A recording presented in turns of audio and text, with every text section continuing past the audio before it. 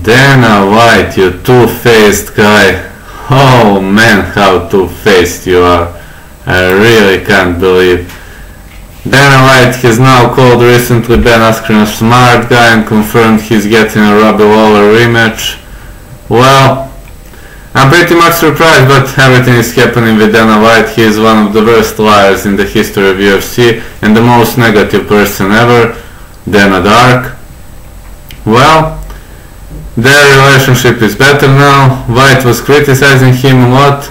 Often Ben was firing back. But now Askren is in the UFC rankings. He is coming of the controversial, undeserved win against uh, Robbie Lawler. And it seems Dana White is praising him. Askren has been fun. This guy's smart, he's funny, he likes to mix it up with everybody in a fun way too. So it's been good. I'm glad he's there. Timing is everything in life and this was the perfect time for Ben Askren to be in the UFC. Or should I say Ben Faxkren? Yeah, sure thing. Dana White says Askren will probably be happy to hear these comments as uh, there will be a rematch versus Robbie Lawler, Dana White. I'm trying to make the Robbie Lawler rematch. First of all, that fight was awesome, it was fun, it was controversial, but it's the fight to make right now. It's terrible when that controversy happens. That's the fight we want to make.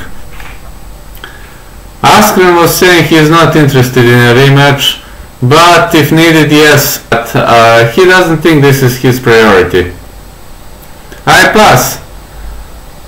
I guess we'll have that discussion. I would like to fight the winner of Darren Till versus Jorge Masvidal. I think that makes a whole lot of sense where the division is concerned.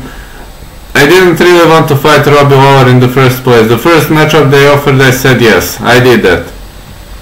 Well, this is what I Askren said at UFC 235 post-fight presser. He was planning to challenge Darren Till and throw him and uh, defeat him whatever, but Jorge Masvidal shockingly knocked out Darren Till in the middle of London. Well, do you want Askren versus Lawler too?